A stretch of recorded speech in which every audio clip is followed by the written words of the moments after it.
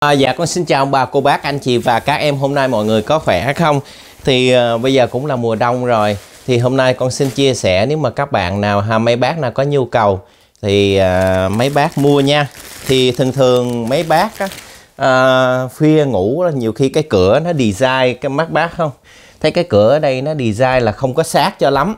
Nhiều khi mình ngủ nếu mà à, mấy bác nhiều khi mấy bác về à, lớn tuổi rồi đó mà thấy ánh sáng thì cũng không có ngủ được mất ngủ đúng không? Và đồng thời à, cái này nó có thể chặn à, nói chặn tiếng ồn thì không không đúng 100% nhưng mà nó sẽ giảm tiếng ồn. Và nhưng mà quan trọng là là là ban đêm đó ban đêm thì thường thường con ngủ ban đêm đó là con đóng cửa chặt.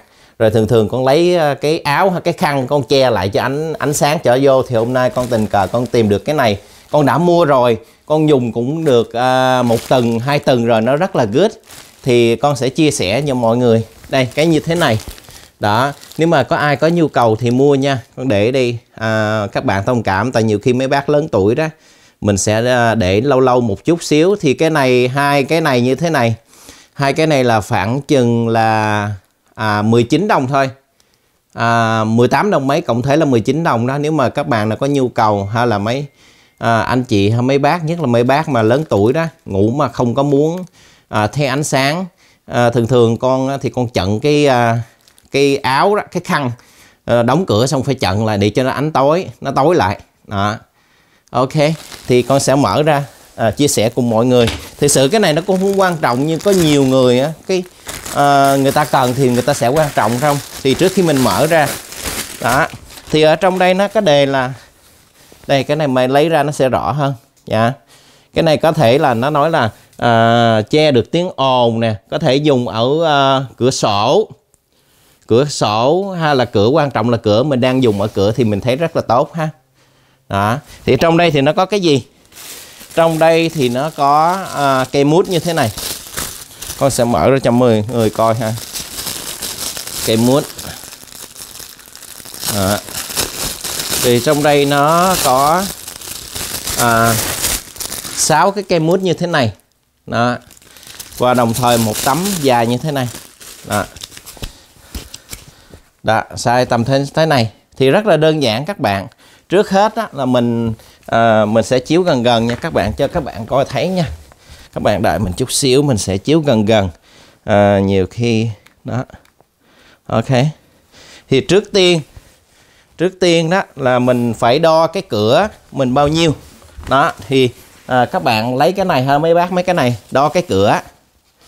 Cái cửa này bao nhiêu ha? Cửa như đây? Đó thì mình sẽ cần dụng cụ mình sẽ cần chỉ một cái kéo thôi mấy bác. Một cái kéo ha. Mình sẽ đưa cái cửa mình đây mình đặt ngay chỗ này mình đo.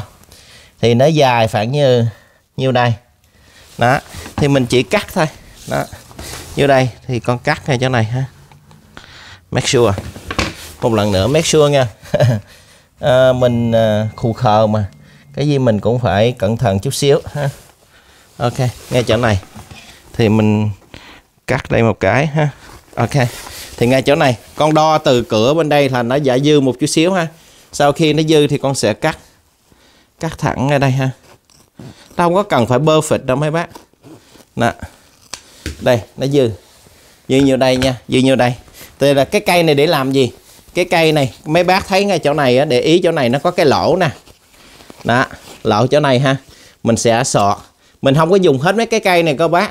Cái này nó nó dài hình như là nó cho mình dài tới à, 36 36 inch lận. Đó.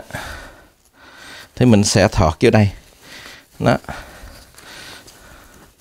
Đó mình nhét vô. Nó hơi hơi khó một chút xíu nha đó, nó nhét vô như thế này.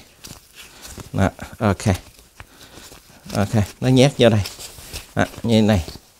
Đó, như vậy. Ok nhét sâu vô. Đó vậy. Ok để con tắt camera con làm à, một chút xíu rồi con quay khỏi mất thời gian mọi người ha.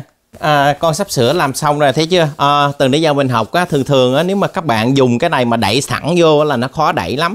Thì các bạn chịu khó cầm một tay một cầm ở đây còn cái này xoắn vô xoắn vô nó sẽ về thì các bạn thấy hồi nãy không?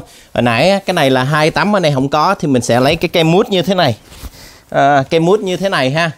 Mình sẽ thọt vô cái lỗ này nha. Tổng cộng ở đây nó cho 6 cây nhưng mà mình dùng khoảng chừng à, 5 cây thôi.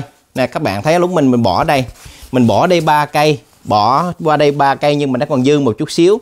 Và tấm mút này mình có thể cắt được nha. Thì mình chỉ cần dùng cái kéo mình cắt thôi. Mình muốn cắt uh, tùy theo cái cửa mình bao nhiêu thì mình chẳng cần nhiều đây nha. Mình lấy cái cửa kéo mình cắt. Đó, đây. Thì nó ra như thế này. Nếu mà các bạn muốn dư á, thì các bạn để cái này dư chút xíu rồi các bạn lấy cái stapler đó. Các, các bạn lấy stapler bấm vô đây cho nó đừng cái xúc ra. Đó như thế này ha. Thì rất là cách install như thế nào rất là đơn giản các bạn. Đây các bạn thấy không? Để mình mua cái camera xuống một chút xíu ha. Ok các bạn thấy rồi nha thì cái cửa như thế này, mình chỉ cần slide vô thôi. Các bạn thấy cái đầu này không? Cái đầu như thế này, mình sẽ thọt vô đây, mình slide vô đây. Slide lên chính giữa, tại chứ bên đây là nó có hai cái cây và cái cửa nó nằm chính giữa, nằm chính giữa nha. Thì mình sẽ slide cái này vô đây. Slide này vô đây, các bạn thấy không? Slide đây, sẽ vừa cái cửa ha, chỗ này nhá. Rồi bắt đầu mình sẽ đóng cái cửa lại cho các bạn coi nè. Đó, đóng cái cửa lại nó sẽ như thế này. Đó để mình đưa cái camera gần gần một chút xíu. Đây. Các bạn thấy không? Đây. Đó. Thì nó sẽ chặn ánh sáng. À, tiếng ồn thì thực sự không phải 100% khoảng chừng 50% thì nó có thể hô tiếng ồn cho các bạn. Thì mình bên kia là mình sẽ tắt hè đèn bên kia và mình sẽ chia sẻ với các bạn. À, nó che ánh tối như thế nào nha? Thử coi bao nhiêu ánh sáng nó được vô nha rồi các bạn mình sẽ chạy qua cái phòng bên đây ha. Và mình sẽ à, tắt đèn và đóng cửa để coi nó như thế nào các bạn. Bây giờ mình sẽ đóng cửa trước ha. Coi nó tối như thế nào nha. Các bạn đợi mình chút xíu mình sẽ đóng cửa. Và đồng thời mình tắt đèn nha. Đó. Đây các bạn thấy không? Mình đang ở đây rồi thấy chưa? Đó các bạn thấy không? Ánh ánh tối chỗ này nó che hết cái ánh sáng rồi. Bởi vậy thường thường á, mình ngủ là mình có cái áo thun mình che lại, nhưng bây giờ mình không cần che nữa. Đó, thấy các bạn thấy tối dữ chưa? Đó, giờ mình sẽ mở đèn lên lại. Đó, mở đèn lên lại mà mở cửa ra. Đây, các bạn thấy không? Đó, thấy nó, cái này nó gứt không?